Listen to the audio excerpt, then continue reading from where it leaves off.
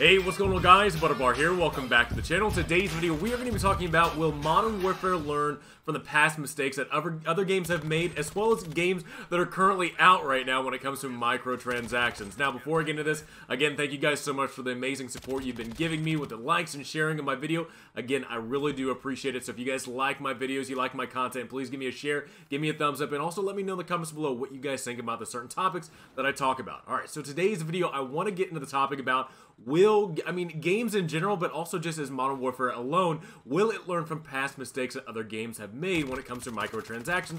Black Ops 4 probably being the worst and also too currently now with Apex Legends and the loot box or the loot crates or loot ticks, whatever you want to call them, uh, uh, price gouging that they're actually doing in that game. So we'll talk about that, but first off, I do want to lead with this. Look, we've just recently got news in the past couple of days of Infinity Ward letting us know when it comes to operators in their game. So they don't have specialists, there's no unique special abilities connected to these operators within the game, but one thing that had me nervous as a player, as a consumer, uh, was the fact that they were going to be price gouging gouging and putting all different type of cosmetic items on certain operators, and that's how they were going to break down some of their loot uh, uh, mechanics, I guess, uh, when it comes to uh, unlocking certain things for operators. However, that is not the case from what Infinity Ward has let us know is that each operator is going to be able to be earned in-game, but also, too, when it comes to different cosmetics to unlock for those operators, it's just going to be one basic skin. So it's not going to be certain sunglasses and helmets and pants and shoes and braces and all this other BS. It's just going to be one set of skins that you will just have to either pay for or unlock in-game. And to me, honestly, that has me super excited as a consumer. Look, I absolutely cannot stand it, you know, kind of going back almost to Advanced Warfare days where you had, you know, cosmetic items or you had items in the game where you had to unlock helmets, sunglasses, gloves, pants, socks, breeches, I don't know. You had to unlock so many different things cosmetic-wise to your operator, to your character, that it just got really annoying, and especially, too, going back into, I guess, you know, uh, going into Black Ops 4 and the way that they're doing microtransactions, honestly, it just had me super nervous of, you know, what the Call of Duty series has done in the past, and will Modern Warfare make the same mistake? However, at least when it comes to this decision where, you know, each operator is going to have their own unique skins, it's just going to be one flat out skin. There's not going to be certain things you have to unlock in order to collect the set or whatever for an operator's skin. Does have me have me happy just because look that is frustrating. As any player any consumer of this stuff it does make a very uh, frustrating time to be able to unlock certain things to make your character look really cool. And the fact that they're making just a flat out skin does have me happy and excited that hopefully Modern Warfare continues down this path of where cosmetic items are not a big frustration when it comes to players wanting to unlock everything in the game. Alright, so now let's talk about what it comes to Modern Warfare when, it, when, when wanting to learn from other games' mistakes. Most currently, and we'll kind of go back to Black Ops 4 as well, but most currently with Apex Legends. Now, if you guys have not paid, played Apex Legends, recently a recent update came out with that game uh, having solos actually being available. So uh, for the longest time, since Apex Legends has been out since February, it only had a trio. You can only play with three-man squads, but recently, in the past couple of days, solos have been locked, unlocked, so you can actually play as a solo person for a couple of weeks. To me, honestly, I, I, really don't really care for the Battle Royale. It's not my cup of tea. Played Apex Legends for quite a bit. Actually got flown out to Respawn to try it out uh, before it was released, so that was really cool. Kind of got to put in my little input as a Titanfall person.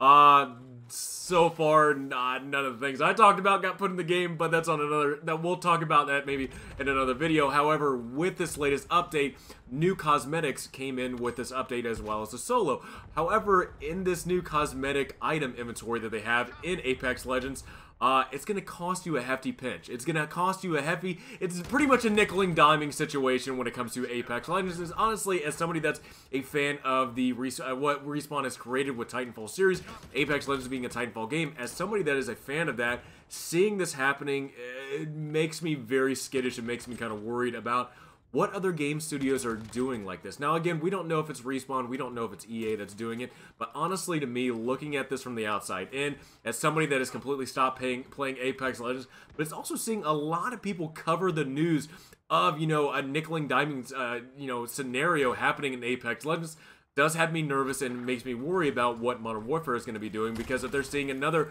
you know, AAA publisher game studio that is doing it in a free-to-play game, Uh, to me, honestly, it's just absurd, and I, I, really hope that Modern Warfare does not go down that route. Now, I know a lot of people are making the uh, the excuse, I guess, for it being a free-to-play game. You don't have to buy the cosmetics in that game, but honestly, the cosmetic items are pretty much the only thing that's in that game besides the BR game mode and besides maybe, you know, the three-man mode or the solo mode. The cosmetic items are literally the content that's in that game. And really, if you're putting a over $150 price tag on just a few cosmetics that are in the game, uh, that's probably more, uh, I mean, that's more, I mean, hell, you look at a $60 game that has more content than that, and for $150, you're not getting a whole lot of anything. So to me, honestly, hopefully Modern Warfare is looking and seeing what players are wanting. Um, at least mm, for me, really just treating fairly. Look, players want to be treated fairly when it comes to video games. You're paying $60 for a game. Hopefully you're getting the game, the content that's in it, and hopefully you're getting a little bit extra for what, you know, the game has worth when it comes to unlocking content. If you're paying, you know, $60 or even 50 more dollars for a season pass, hopefully you're getting a little bit more content, you know, added onto that price tag. When it comes to Apex Legends and seeing kind of what they're doing with a $150 price tag for the cosmetics and items in that game, to me, honestly, I don't see that as a as a fair price tag or a fair treatment of players uh, when it comes to you know wanting to bring in you know players into that game, wanting to unlock all the content. I mean, honestly, you know, players want to unlock content. They want to unlock things in their game to make their character look cool, and especially in a BR game like that, and cosmetics are the, pretty much the only thing to look different, to look unique in that game. Apex Legends, I feel like, is just kind of going down a slippery slope and a dangerous slope when it comes to, you know, pushing players away and having a giant price tag. I mean, honestly, you kind of look at a price tag like that with $150 worth of cosmetics, the only people that are going to be buying that stuff are people that are on the main stage, the high rollers when it comes to people that are doing content and streaming and whatnot, uh, or people that have a lot of money. They, they, they have big paychecks that are able to afford that people like me that uh, go off a basic income, I'm a firefighter, don't make that lot of money, um, as just a basic player, uh, there's no way in the world that I can argue or I can support, um, you know, funding $150 for worth of cosmetic items and think that I did not get treated uh, unfairly. So to me, honestly, looking at that situation that's going on with Apex Legends, coming over and looking at Modern Warfare, I really hope it does not go down that route. I really hope when it comes to Modern Warfare being a $60 game or, you know, a $100 game, depending on what version of the game you bought, um, you know, with if you're wanting, you know, extra content with the extra cosmetic items in that game, if you're paying the $100 version, I really hope that we're not getting cheated. I hope we're treated fairly. I hope we're treated uh, decently when it comes to cosmetic items. If we're paying upfront for a $60 game, hopefully later on down the road, we're not getting treated like Black Ops 4 where we're getting charged, you know, 10, 12, $15 for cosmetic items in that game. And another thing too, with recently with Black Ops 4 having the change to some of the DLC weapons, the Stingray, uh, to me, honestly, it, it, it just, look, when Modern Warfare comes out, if it's going to have DLC weapons in it, learn from Black Ops 4, learn from what their situation is, because people spent a lot of money going after the Stingray, which is probably the most powerful gun in Apex Le or in uh, Black Ops 4, because it was it was uh, hidden inside the reserve crate. People spent hundreds of dollars trying to find that Stingray, and it, again, it was most powerful gun. However, with Black Ops 4 and Treyarch making an update to that game, now it's a very weak gun in Black Ops 4. To me, honestly, looking at that, seeing that people are spending the money to to achieve to try to get after guns that are in reserve crates that are very expensive to get, that are the most powerful guns in the game to get. To me, it's just I, I don't want to be like that. I really don't want Modern Warfare to be like that, to where people are spending you know, people want to spend money and support your game if it's if people are getting treated fairly. If you look at Black Ops 4, you look at what Apex Legends is doing with cosmetics, players are not getting treated fairly. People are not being tr uh, treated decently in those games to where it, it, people want to support kind of what's going on. Black Ops 4, uh, a player base, and, and people that are watching it have gone down. Apex Legends, uh, similar. Uh, even though it has a new game mode, it has some new cosmetics, the player base has been kind of going downhill when it comes to watching it. To me, honestly, I hope Modern Warfare is able to learn from these two games that are, are pretty much at the peak of the AAA games, Black Ops 4 as well as Apex Legends. And I really hope Modern Warfare is able to take a good look at itself, look at to take a good look at these games, and not be able to do what they have done, where you are nickeling diming players, but you're also hiding some uh, some unique and, and rare and very powerful items behind reserve crates uh, to where people are going to be, you know, spending money to, to pour money into it. And I get it. You know, you're wanting to make some money for your for your company, for your game, and I totally understand that. But however, I really do see it as a very mistreated uh, way of doing it because you are having the people that have a lot of money spending money in the game to be able to get the most powerful items in the game.